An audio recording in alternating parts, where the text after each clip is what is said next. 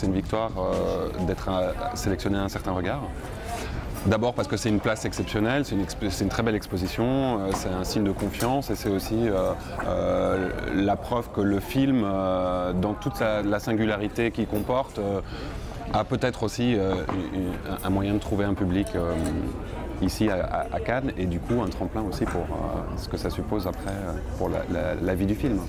Angélique, là-haut c'était les chambres alors Oui, c'était les chambres. Habité là-bas aussi? Moi, j'ai habité là-bas, mais j'ai habité dans toute la rue. Hein.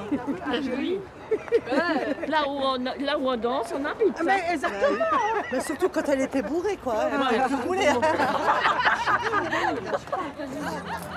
faire l'ouverture d'un certain regard, à la fois, on vous cache pas, on est hyper flippé en fait.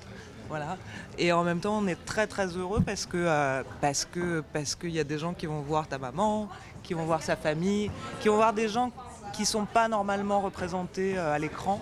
Et là, on nous, on nous offre cette possibilité. On dit, bah oui, ça peut faire du cinéma et ça peut intéresser des gens. Et ça déjà, euh, enfin, ouais, ça c'est énorme.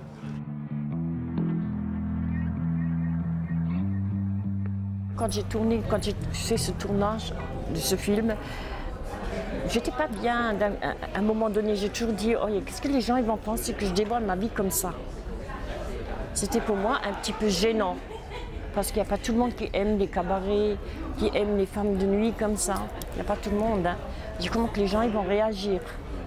En fin de compte, j'ai quand même pris mon courage à la main et je me suis dit, voilà, ou ça passe ou ça casse. Je me mets comme ça. Hein, regarde bien. À genoux. J'ai ouvert. Oh, la jolie bague, elle fait. C'est pour moi J'ai dit, mais j'ai quelque chose à te demander. Ah bon, quoi ça? Et j'ai dit, Angélique, veux-tu m'épouser? Elle s'est mise à rire.